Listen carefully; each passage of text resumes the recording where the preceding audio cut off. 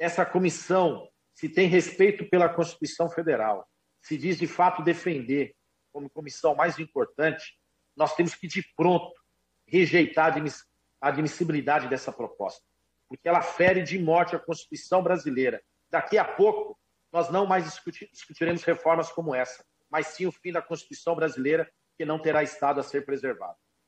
Estou acompanhando simultaneamente, né, de maneira paralela aqui, a audiência na Comissão de Justiça, Constituição e Justiça, e também na Comissão de Direitos Humanos, numa audiência conjunta com a Comissão de Legislação Participativa. Parece debates diferentes, mas uma coisa tem a ver com a outra. Naquela comissão, o delegado da Polícia Federal, Alexandre Saraiva, está fazendo uma denúncia grave, grave, se essa casa fosse séria, o ministro do Meio Ambiente imediatamente teria que cair. Ou nós abrirmos uma CPI, ou darmos o impeachment do ministro, que é possível. E por que eu digo que são coisas simultâneas e que são correlatas? Porque esse delegado fez isso porque ele tinha garantia de estabilidade no serviço.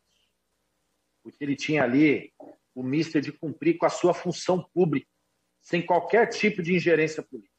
E olha que mesmo assim ele foi punido. Porque tiraram ele do posto.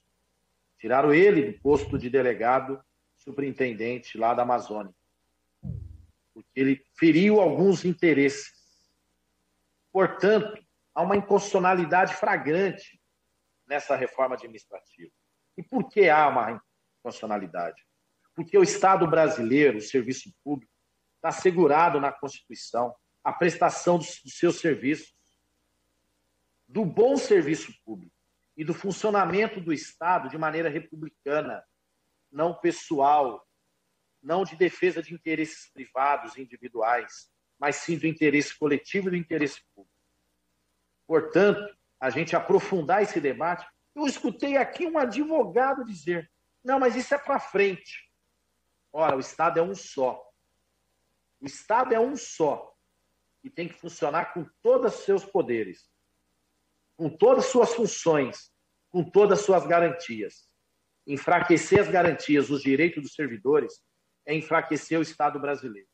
É impedir que a sua missão constitucional de um bom serviço público seja prestado, de um serviço público não só de qualidade, mas de maneira isenta, de maneira independente, de maneira autônoma, para que ele possa fazer ferindo o interesse que seja é muito, é muito sintomático. Nós estamos fazendo um debate lá e tem tudo a ver com esse debate aqui.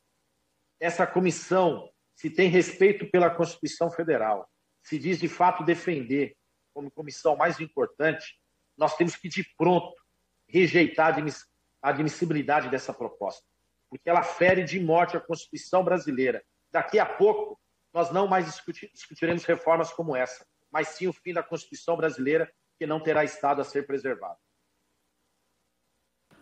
Obrigado, deputado.